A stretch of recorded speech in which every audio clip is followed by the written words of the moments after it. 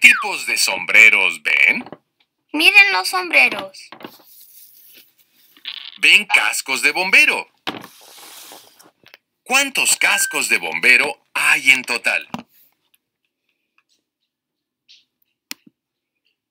Hay seis cascos de bombero en total. ¿Qué representan las fichas?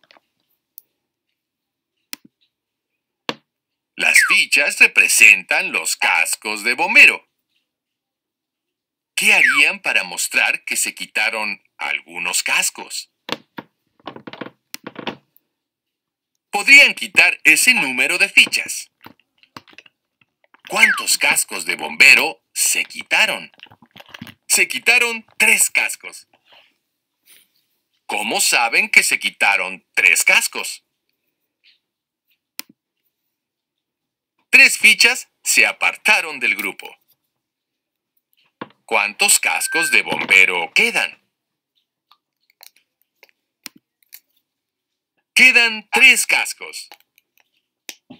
¿Cómo lo saben?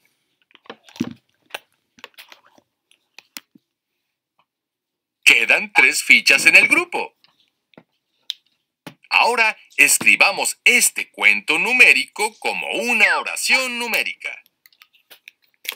¿Cuántos cascos de bombero quedan? Quedan tres cascos. Lo que queda es la diferencia entre el número de cascos que había al comienzo y el número de cascos que quedaron al final. 6 menos 3 es igual a 3.